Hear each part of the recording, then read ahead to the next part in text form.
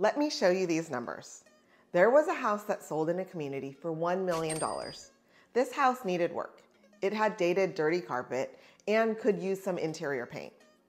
That agent listed and sold the home as is for $1 million.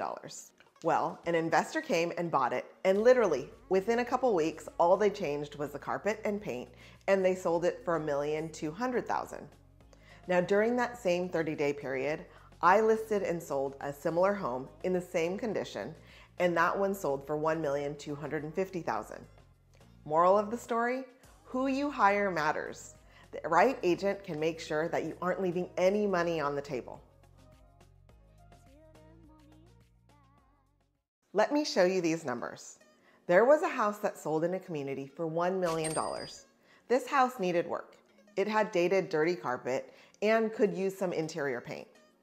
That agent listed and sold the home as is for $1 million.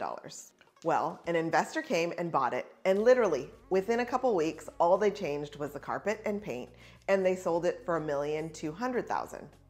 Now, during that same 30 day period, I listed and sold a similar home in the same condition, and that one sold for 1,250,000. Moral of the story who you hire matters. The right agent can make sure that you aren't leaving any money on the table.